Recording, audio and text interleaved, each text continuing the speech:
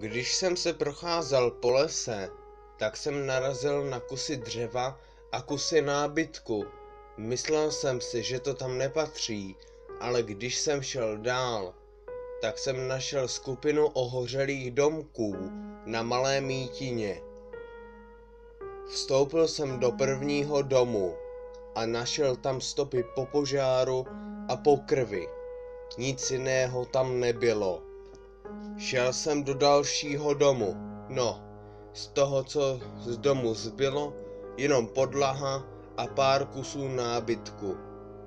Podíval jsem se do skříně, která byla rozbitá a ležela na zemi.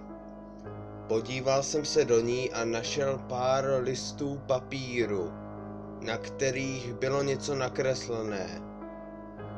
Z obrázků jsem zjistil, že to byla malá vesnička nějakých osadníků. První obrázek popisoval živou přírodu a malou vesnici a v ní šťastní lidé. Jenom v pozadí v lese byly nějaké černé postavy. Myslel jsem si, že to byli nějací poutníci, nebo tak něco, ale to jsem si nemyslel. Další obrázek popisoval hořící vesnici. Vesnice byla přepadena nějakou skupinou zbojníků. Vypálili a vyvraždili celou vesnici. Na dalším papíru byl vzkaz. Autor chtěl zřejmě poslat pro pomoc, ale zřejmě se mu to nepodařilo, když jsem viděl, že místo dalšího slova byl jenom dlouhý čmáranec ten moment určitě někdo autora zavraždil. Když jsem si všiml krve, která byla na papíře. Byl jsem tam hodně dlouho, do půlnoci, asi ve 12.01 v noci jsem uslyšel, jak se otevírají dveře.